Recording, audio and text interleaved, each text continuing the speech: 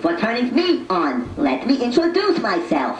I am 2XL, the smartest toy robot in the world. And if you don't believe me, just come a little closer, and I'll challenge your human brain with my electronic brain. Before we begin, I have three instructions for you to remember. One, always choose answers after I say the word now. The word now is your clue to choose an answer. Never push buttons or answer questions on your own. Only push buttons when I tell you to.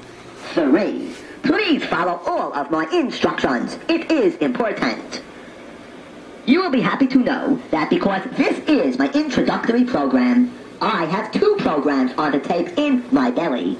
The first program does not use the little booklet that came with this tape. The second program does. If you would like to hear the first program, push A.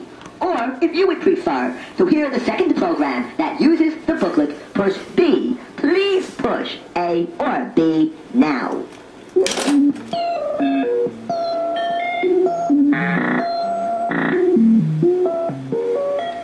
Thank you. You have answered B for the second program. Notice my yes